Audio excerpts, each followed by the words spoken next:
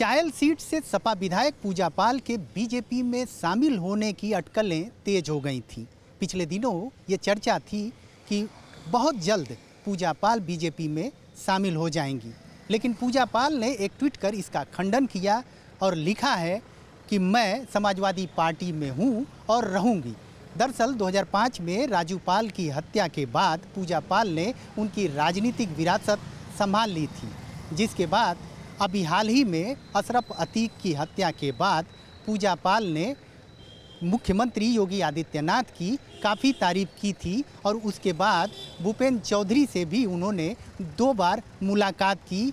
सूत्रों के मुताबिक इस मुलाकात के बाद ये कयास लगाए जा रहे थे कि जल्द पूजा पाल बीजेपी में शामिल हो जाएँगी, लेकिन उनके ट्वीट के बाद ये सारा मामला खारिज हो गया। लेकिन आने वाला ये वक्त बताएगा क्या पूजा पाल अपनी बात पे कायम रहेंगी। कैमरामैन सर्वजीत के साथ सत्यप्रकाश सिंह, भारत एक्सप्रेस, लखनऊ। भारतीय जनता पार्टी झूठ, छल और प्रपंच की राजनीति करती है।